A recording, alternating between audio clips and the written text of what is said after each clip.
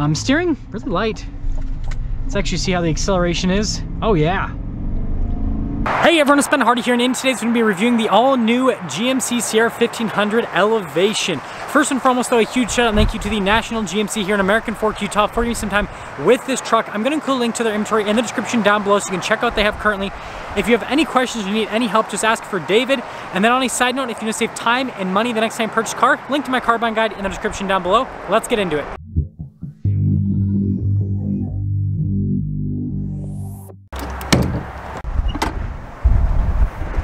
Under the hood, we have a naturally aspirated 5.3 liter V8 that goes through a 10 speed automatic transmission. Fuel economy is 14 around town and then 19 on the highway with power outputs being 355 horsepower and then 383 pound feet of torque. Before I go over the front end, I do want to mention if you want to see more videos just like this, then I recommend you subscribe because I post content every single day. Now here's a quick look at the hood. You guys can see we have a lot of flat surfaces here on the hood, but notice that you do have, you know, some like lowered parts and some raised parts, so it looks pretty interesting overall. Now the front end of this elevation is pretty sweet. We've got the LED daytime running lights with the headlights. Notice you've got that accenting there at the front of the hood, and then you can see with the grill, it's all blacked out. The GMC logo is also darker, and then you've got the bumper that's darker. We do have tow hooks and fog lights. They're kind of hard to see because of the lighting right now, and then also that blacked out accent piece right there. And when you pull it all together, this truck definitely looks pretty mean and aggressive. Come around the side here, tire and wheel setup is 275 60 20 in the front and over in the rear as well. You can see the wheels all blacked out and you know quite a bit of sidewall on those tires actually. Now since this has the X31 package, it has off-road tuned suspension, these all-terrain tires, and well, skid plate protection underneath. We have a few cool elements here on the side, including this 5.3 V8 badge, elevation badge as well, and then the X31 badge all the way there in the back. Now here's our full side view and you guys can see the blacked out elements definitely bring it together. We do have those fixed side steps and this is an extended cab which is actually pretty rare. So here's our key fob. We have our unlock function or lock function, remote start, and then the drop down for the tailgate. We'll press that a couple times and it'll pop it right down. Now here in the bed, we have a payload capacity of 1,623 pounds and then a towing capacity of 9,200 pounds. And there are some other cool elements here like these LED lights and then you got the full outlet down below. And then last thing before we close up the bed, it is over six feet in length and boom, and then we do just have the like base taillights here with this elevation. You guys can see again with the darker badging here on the back. And then look at the like squished exhaust tips there on the bottom with the little bumper steps. Altogether, I think that this truck actually looks pretty dang good on the outside. With the door panel on the rear, we still have wood trim here, and then you guys can see the double stack design with the whole armrest situation, then our window control. Now this does have cloth seats as part of the elevation package, and pretty cool pattern there in the center, and you can also lift up the seat.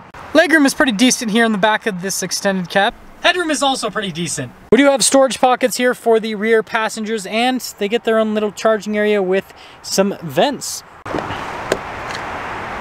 Now the front door panel has the same material use and design as the rear, just a little bit larger. All of our window controls, notice that front driver one is automatic mirror adjustments, and then the mirrors do have like a convex mirror to help out with the blind spot. Front seats are cloth just like the rear, and you have that same design on the center of the seat, and then power adjustments on the side. Got our hood latch release down below, and then we have our light controls here. Notice you can also put the fog light on with that. And then our drive line select. This has auto four-wheel high, four-wheel low, and then it two-wheel high. And then you got your drive mode select with your trailer tow mode, and then your parking brake. Steering wheel is manually adjustable.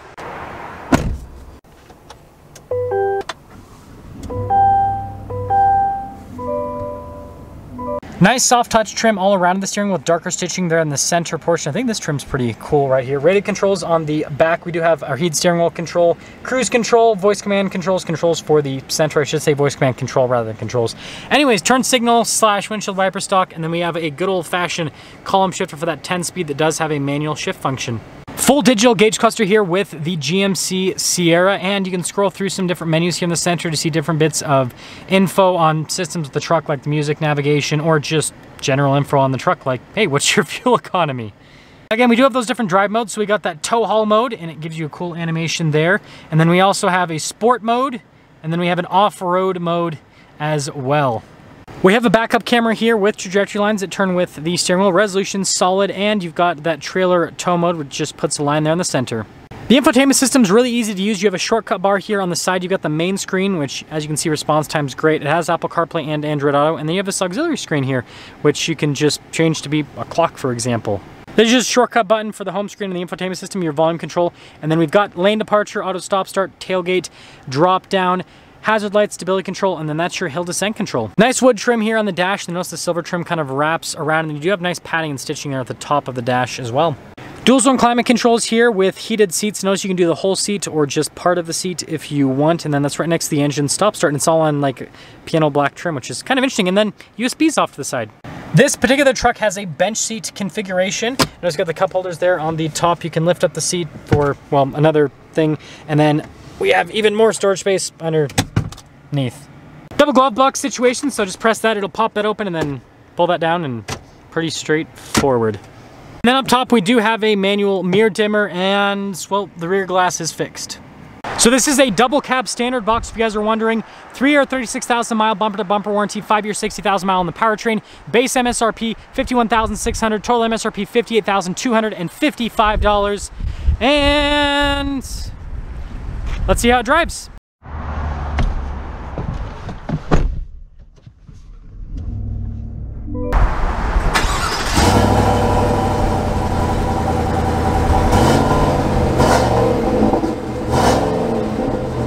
Well, let's talk about visibility before we set off. Here's your visibility over the hood, both of the mirrors, and then throughout the rest of the rear. And let's set off. Setting off in this GMC Sierra, and all I'm gonna say is, thank goodness for climate controls and heated seats.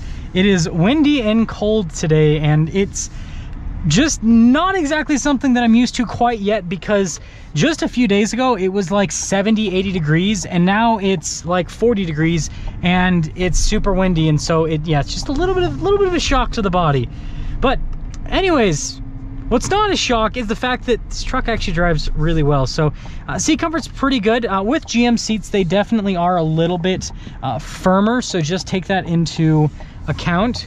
Um, steering, really light. Let's actually see how the acceleration is. Oh yeah. And that 5.3 gets up and moves, that's for sure. Now, you know, other than that, um, gear shifts pretty quick, pretty seamless as well. Ride quality is actually really good here with this double cab.